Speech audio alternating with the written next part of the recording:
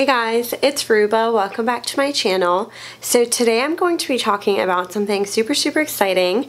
Um, so I'm going to be talking about how I liked Orange Theory Fitness and if I think it's worth it. So if you are interested, just stay tuned. Okay guys, so I had the opportunity to try a week of classes at Orange Theory Fitness and so I'm going to kind of explain um, what Orange Theory Fitness is and like what the workouts are like for those of you who are not familiar.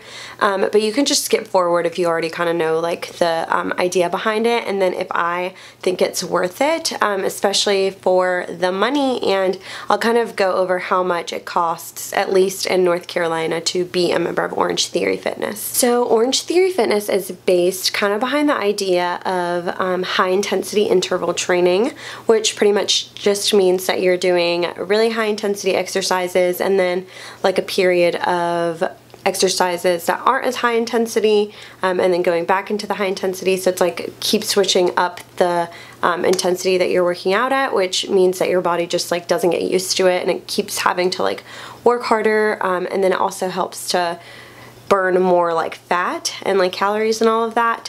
But for Orange Theory Fitness, they um, do it through your heart rate. So you have a heart rate monitor and you use the heart rate monitor to pretty much like every single workout and you use that to calculate your heart rate. So with the Orange Theory workouts, there are five zones. So there's the gray zone, the blue zone, the green zone, the orange zone and the red zone. So the orange and the red zone are the ones where you're working at a lot higher of an intensity. So that would be 84 um, to 91% of your max heart rate. So Orange Theory wants you to be in the orange or red zone for at least 12 minutes of your workout. And they say that if you're there, if you're in the orange or red zone for at least 12 minutes of the workout, that that means that you're going to be burning calories for 36 hours after you're done with your workout. So that's what they call like splat points if you guys have heard of those. So one minute in either the orange or red zone counts as one splat point.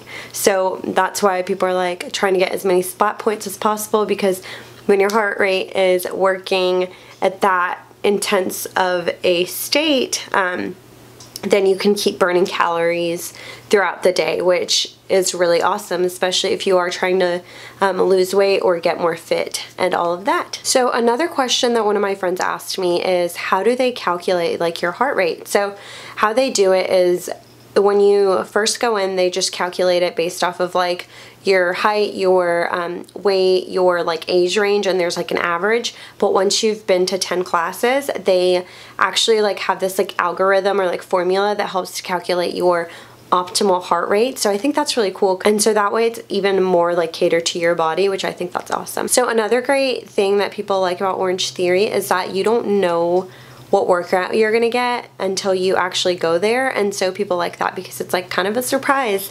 And also they change their workouts up a lot. So you really never know what you're gonna get which is really cool. And then they have three like main workouts or like types of workouts that they do. So most all of the workouts have a treadmill component um, and you can kind of pick either if you're gonna walk jog or run um, with that. And they kind of like explain to you um, but it's more based off of how hard you want to work and your fitness level. So that's really great that you have the option to like walk versus um, be part of the running group. And then there is typically a rowing component um, which is just a rowing machine. And then the last is the weight floor which is either like body weight exercises or resistance exercises with like weights and bands and stuff. And so those are like the three main things that you're going to be doing regardless of your workout.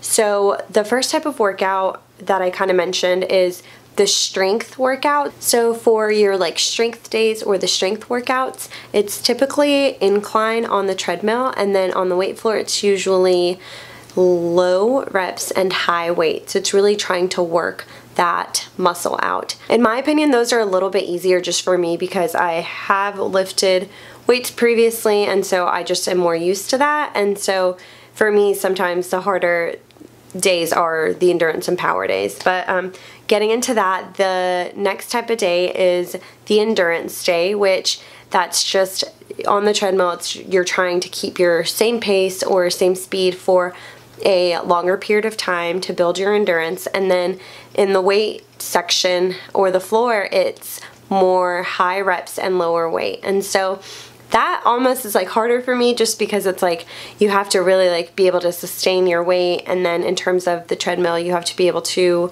run or walk or jog for a longer period of time and so I definitely struggle a little bit more with that. And then the third um, and last type of like day or workout is the power and that's kind of like your all out. So with on the treadmill you're you're going to be like running at your fastest speed um, and all of that. And then on the weight floor you are doing more like explosive movements, so more like burpees and jump squats and all of that. And so that's definitely difficult too and really can challenge your body in different ways. Another great thing that I like about Orange Theory is that they often have like partner workouts.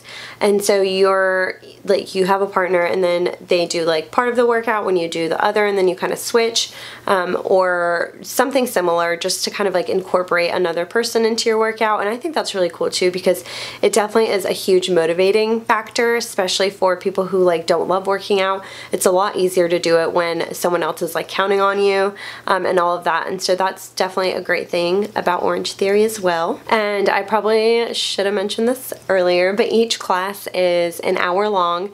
And then obviously you're in a room with however other many people who are taking the class so you're not like it's not just you and like some the coach. It's you and the coach and then all the other people who are in the class as well and so that's really nice like I said earlier because you do have that like motivating factor of everyone around you is doing the same exercise so it kind of makes it easier for you to keep going. And like the atmosphere is nice. It's like loud music and the coaches definitely are very motivating and like pump you up which is awesome. So getting into pricing um, where I live the unlimited pass per month so this is like you can go um, into any classes anytime in the month is $169 and then the classes for like going two times a week is $99 for the whole month.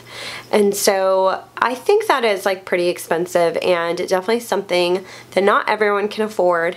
And then another thing is is that you have to either borrow or like rent out the heart rate monitor which is $10 um, or you can purchase it for $100 and you have to use that specific like Orange Theory fitness one. Um, and so that can get really expensive especially if you're like thinking about joining. And so and you want to do unlimited that's like $169 for the unlimited classes. And then it's an extra hundred dollars to like initially buy um, your heart rate monitor. And so that's a lot of money. And I know that's definitely like one of the negative um, aspects for me about Orange Theory Fitness. Because as you guys know I'm a student. I definitely can't afford like $169 a month. Um, and I know some of my friends who do go to Orange Theory Fitness like in my physical therapy program like have to work like a little literally like a little job to be able to afford it. And so definitely not something that um, is for everyone. I think another downside about Orange Theory for me is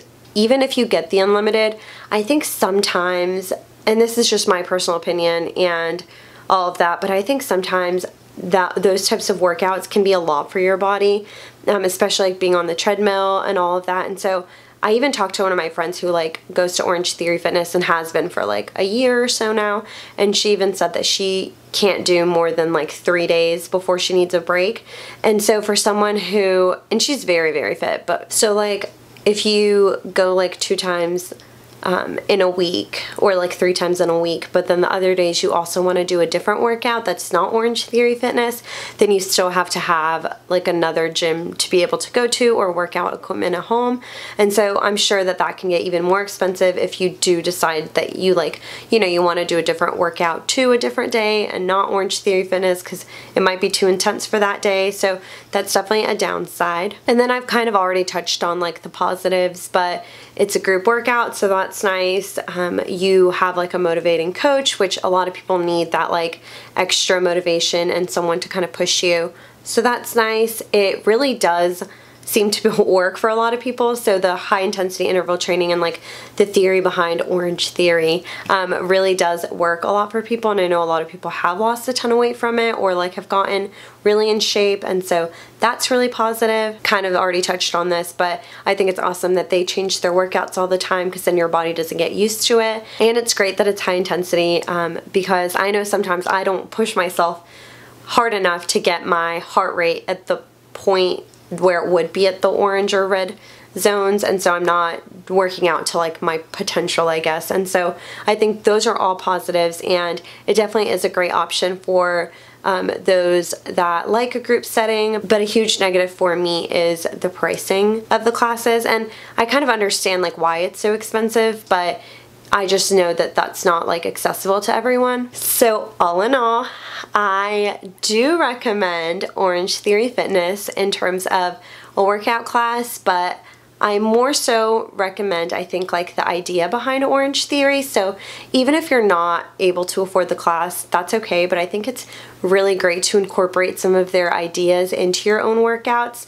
Um, if you guys want a video about like how to incorporate their ideas into your own workouts, I would love to make that. But, but like for me, I know since trying Orange Theory, um, I have my Apple Watch, which calculates my heart rate. And so I'll even use that during my workouts when I'm doing more like high intensity stuff to make sure I'm getting into those higher heart rates and what would be in Orange Theory, the um, red and orange zones. But like I said, I think it isn't too hard to incorporate their ideas into it and that's personally what I do versus actually having a membership because I personally can't afford $169 a month and I'm sure a lot of you guys probably can't either.